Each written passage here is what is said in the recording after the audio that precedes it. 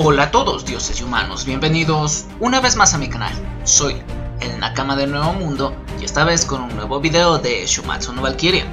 Hoy analizaremos qué pasará en el quinto combate del Ragnarok, donde se enfrentará nuestro ya troleado y uno de los dioses más poderosos hasta el momento, Shiva, contra uno de los hombres más épicos que he visto en un manga, Raiden Tamemon, el mejor Rikishi de la historia. Esto en el Zoom. Como siempre, antes de empezar les recomiendo que se suscriban a mi canal, si es que aún no lo han hecho. Compartan este video con todos sus amigos, lo cual les agradecería muchísimo. Pues bien, ahora sí, comencemos. Pues Shiva es uno de los principales dioses de la cultura hindú. Este conforma la llamada Trinidad, por lo que se pueden imaginar que su poder es sumamente grande, y que gracias a su tercer ojo puede incinerar a sus enemigos si éste se abre solo un poco y desintegrar a otros dioses si es que éste lo hace por completo. Además de este ojo, tiene la posibilidad de ver el pasado, presente y el futuro. Se lo considera el dios del caos y la destrucción, por lo que puede ser demasiado impredecible y también posee el poder de crear y destruir, con lo cual es un enemigo de temer. En cambio, Raiden Tamemon por su parte es considerado el mejor luchador de sumo de la historia de Japón, con 254 victorias en toda su carrera, este, cuando entrenaba en la arena para batallar, era brutal. Sus combates eran muy rápidos ya que este tenía varias técnicas especiales, las cuales muchas de ellas se prohibieron por la facilidad con la que este ganaba sus combates. Y la velocidad que poseía hacía que este fuera mucho más peligroso. Muchas de estas técnicas no solo eran de sumo, ya que en el sumo antiguo también se podía usar golpes y patadas, por lo que no piensen que solo irá a los empujones o a tratar de sacar a su rival de la arena. Con este breve resumen, creo que podemos esperar de esta batalla es muchísimas posibilidades, tanto de victoria para la humanidad como de derrota para la misma. Pues si bien Shiva al tener cuatro brazos posee una mayor ventaja ya que puede usar dos brazos para defenderse y otros dos para atacar, esto al mismo tiempo. Además, que la incertidumbre que viene es qué estilo de pelea va a utilizar Shiva ya que este no trae ningún arma al igual que Raiden. Raiden, por su parte, tiene la ventaja de tamaño frente a Shiva, se ve que Raiden es mucho más grande, por lo cual esto le puede ayudar a tener cierta ventaja en el combate.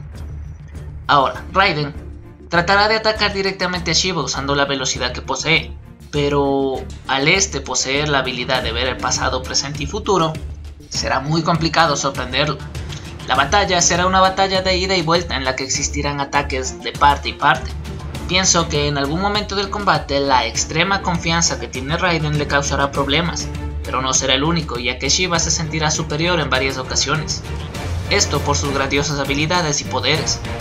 Aquí es en donde entrará en función importante el papel del Volund de Raiden, ya que si bien no se nos mostró cuál fue al igual que sucedió con Jack, es muy posible que los tatuajes que lleva en su cuerpo cumplan una función muy importante. Y de dos maneras. La primera ayudando a impedir que Shiva vea los futuros movimientos de Raiden y actúen como una especie de inhibidor, también como un potenciador de la fuerza y velocidad de Raiden, el cual sería de gran importancia ya que Shiva, si decide este usar el poder de su tercer ojo e incinerar a su rival, sería el fin de la batalla.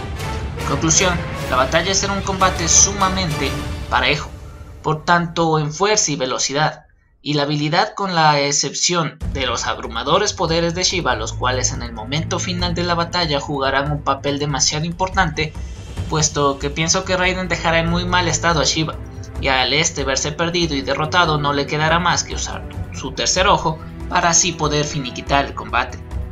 En este caso, de que Shiva ganara, o en caso de que Raiden ganara, está una gran posibilidad ya que como sabemos los mangakas son muy nacionalistas y podrían hacer que Raiden se vea demasiado roto de poder y habilidades. Esto sí dando un muy buen combate, algo así como lo que fue el combate de Poseidon contra Kojiro.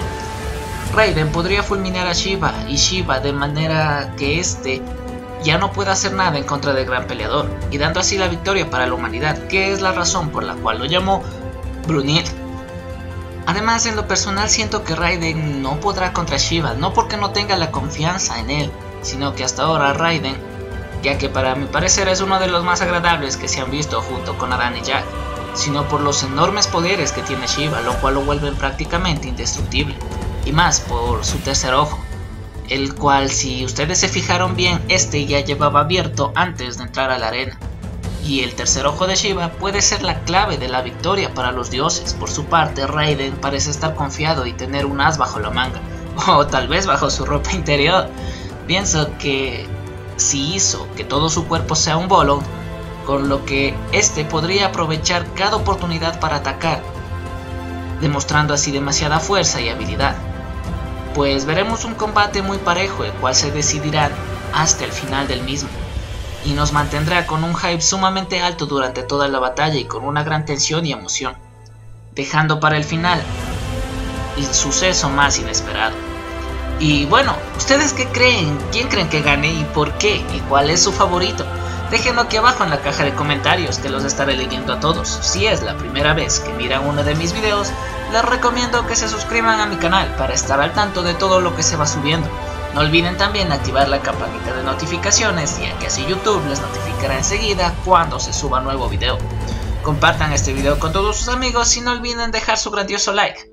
Sin nada más que decir, hoy yo me despido, soy el Nakama de Nuevo Mundo y nos vemos en un próximo video.